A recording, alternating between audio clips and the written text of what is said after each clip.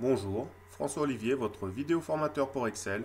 Aujourd'hui, nous allons voir comment je peux importer des informations d'une base de données Access afin de pouvoir les présenter, de faire des analyses de ces données dans Excel.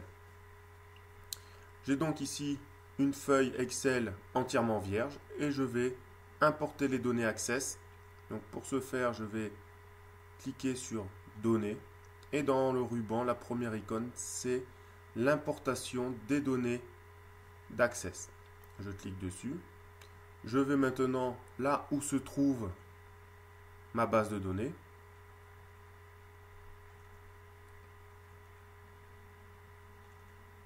Et vous voyez ici mon fichier base de données Access. Je double-clique ou je fais ouvrir.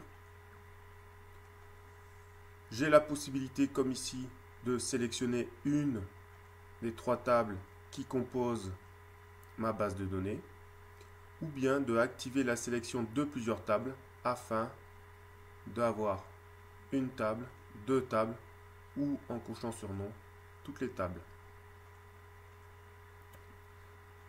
Si j'avais coché toutes les tables, dans ce cas-là, comme ici j'ai trois tables, j'aurais eu trois nouvelles feuilles dans Excel, une par table. Ici, je veux importer la table article, donc je la sélectionne, je fais OK. J'ai la possibilité, au point de vue de l'affichage, de l'afficher comme un tableau, un rapport de tableau croisé dynamique, un graphique croisé dynamique, un rapport Power View ou ne créer que la connexion. Moi, je souhaite un tableau. Ensuite, je peux avoir feuille de calcul existante. Donc, dans ma feuille à l'endroit où je suis ou une nouvelle feuille. moi, je vais la mettre dans ma feuille. Dans les propriétés, j'ai la possibilité de donner un nom à cette connexion. Donc, je vais l'appeler par exemple formation, de lui mettre une description. On va mettre la date du jour. Aujourd'hui, on est le 15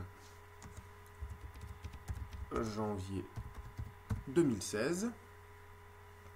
Je peux choisir aussi l'actualisation. Activer l'actualisation en arrière-plan.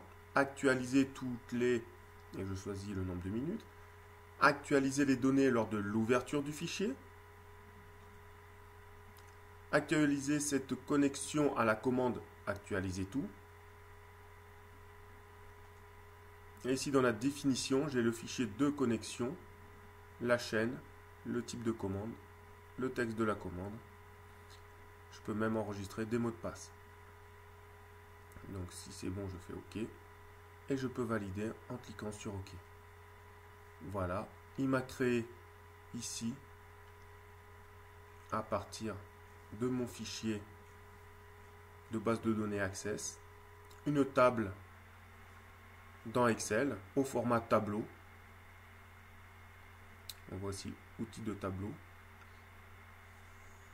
Je peux à partir de là actualiser si je modifie quelque chose dans Access pour l'avoir dans Excel. Donc actualiser ou actualiser tout. J'ai à nouveau propriété de connexion pour modifier les paramètres de connexion. Ici, je ne fais que visualiser les informations pour pouvoir les analyser et nullement je ne peux modifier une information afin qu'elle soit enregistrée dans Access. La preuve, si ici je, je fais une erreur, je valide, je peux penser que effectivement mon fichier a été modifié, mais si je fais actualiser, actualiser tout, ça revient comme c'était avant. Si je veux travailler sur mon fichier, sans avoir le problème de liaison, dans ce cas-là, je fais supprimer tout. Au niveau de les liaisons, si je retourne dans Données, j'ai la possibilité de voir la connexion. vous voyez ici le nom de ma connexion avec la description. Je peux en ajouter, peux la supprimer, je peux aller voir ses propriétés, je peux l'actualiser, J'ai aussi ici à nouveau propriété avec le nom, inclure les numéros de ligne, conserver les dispositions, les formats, ajuster les largeurs, insérer des cellules pour les nouvelles données et supprimer les cellules inutilisées, ou insérer des lignes pour des nouvelles données, supprimer les cellules inutilisées, ou remplacer le contenu des cellules si nécessaire et supprimer les cellules inutilisées. Normalement, on laisse sur insérer des cellules pour les nouvelles données et supprimer les cellules non utilisées. Voilà pour l'importation de données dans Access, enfin depuis Access vers Excel.